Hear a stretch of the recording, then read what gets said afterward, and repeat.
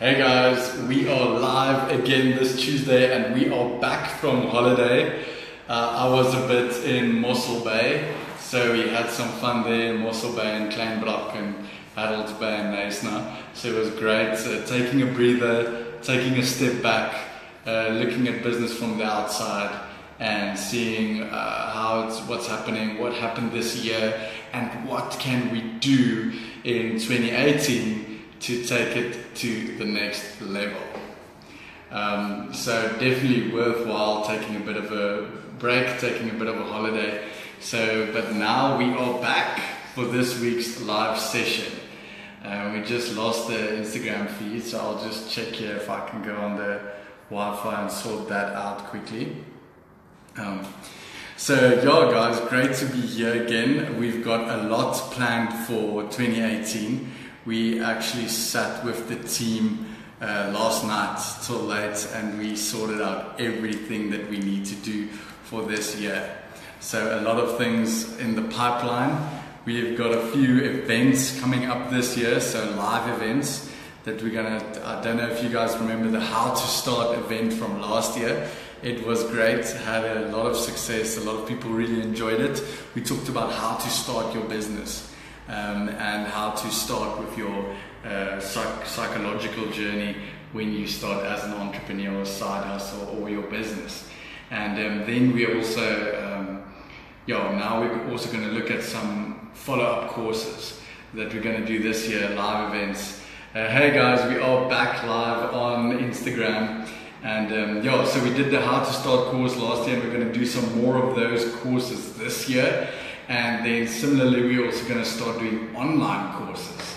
So check that out and watch the space. That's going to be great. Some online courses, and then we're going to launch a new course that we're going to give at schools, we present at schools.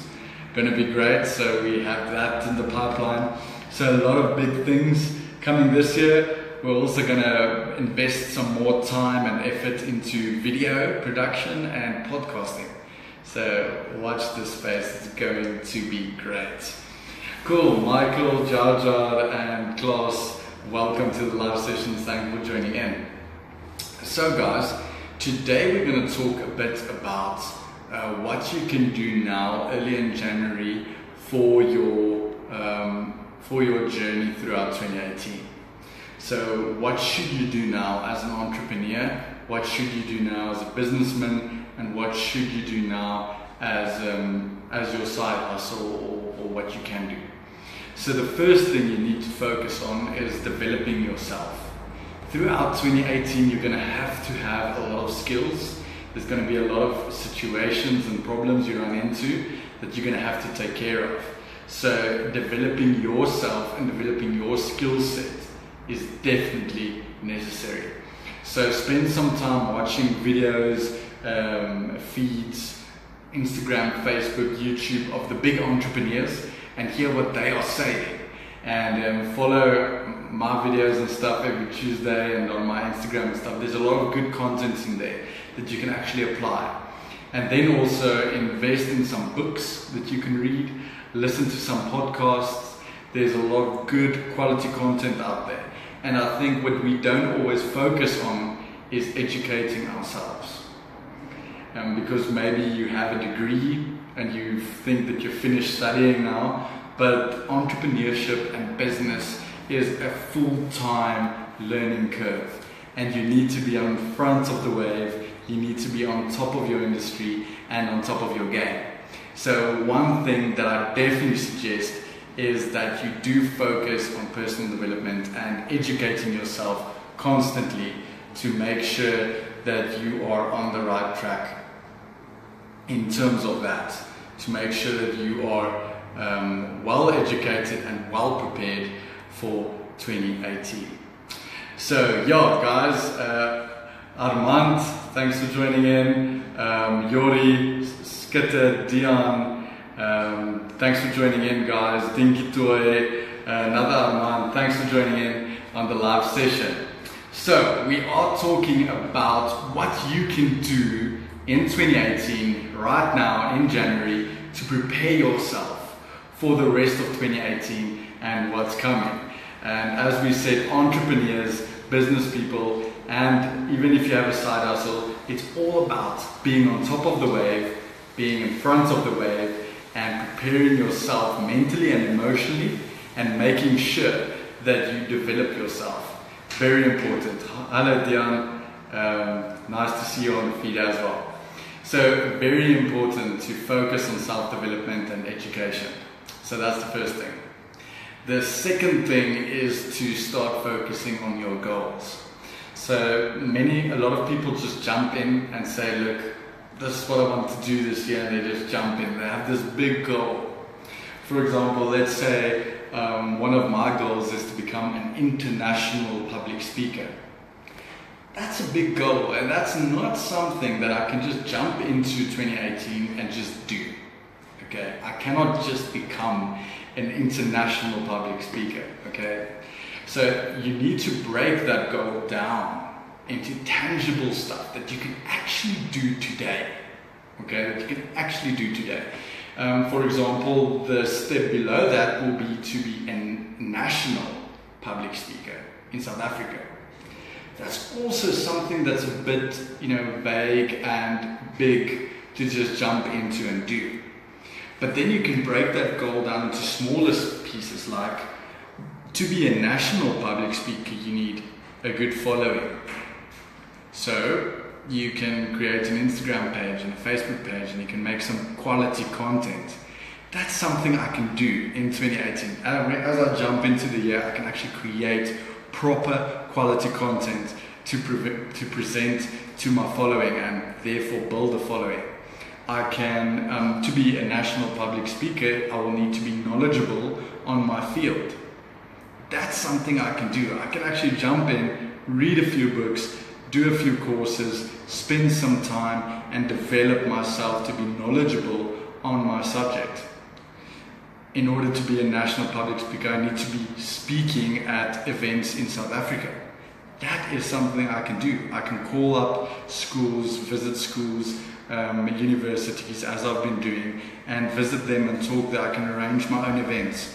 And that is something tangible that you can do. So I want you to take that big dream that uh, when you sat on New Year's and you said, Look, this is what I want to do this year, or this is what I want to do in my life. Take that big dream and break it down into tangible steps that you can apply in this year and that you can actually implement um, without it being a fuzzy, furry, you know, big goal that you can't really necessarily do today.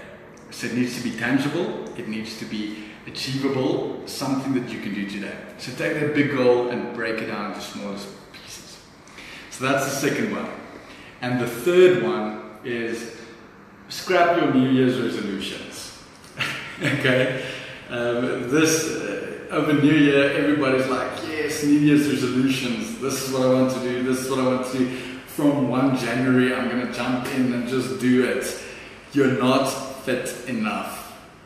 Again, I'm not just speaking about physical fitness, that as well. If you're saying, look, I want to become this buff guy in 2018, and then 1 January you jump into the gym and you just start lifting, you know, 100 kilogram weights, you're either going to break your arm, you're going to be so tired and exhausted that you won't be able to go to the gym for the next month or you're just going to be like totally lose com- um, willpower for it because it's going to be so such a terrible experience.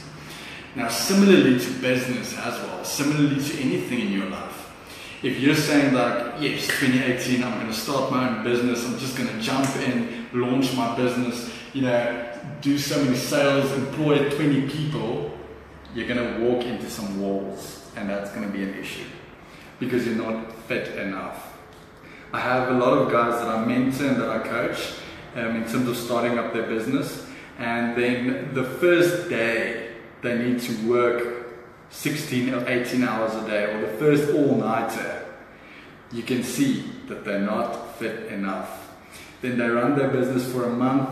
They find out, yo, uh, I'm not fit enough. This takes too much time. This is long hours, long nights and they get tired, they get exhausted, and eventually they drop off and they don't continue with their business.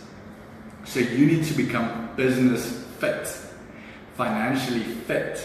You can't jump into 2018 and invest 100 grand into Bitcoin because you, you, this is your New Year's resolution. You need to understand financial investments. You need to understand how trading and these type of things work. You need to become mentally fit for the game. So invest small amounts first. Understand how the game works. When you start up your business, start it lean, start it small. You know, work your, yourself into it. When you go to the gym, start with low reps, low weights. Work yourself into it. So I'm saying, throw your New Year's resolution paper away and start with a proper plan your big goal, break it down into small steps, and ease yourself into it. Build up momentum, build up fitness, and at the end of the year, you will be making big investments, you will be running your business and doing all nighters and working throughout. You will be curling 100 kilogram weights because you will be fit and you have been building it up throughout the year. So, guys, that's my two cents about what you as an entrepreneur or businessman or side hustle can do this month in January in 2018 to make sure that you achieve your goals at the end of the year and have a successful year to look back at.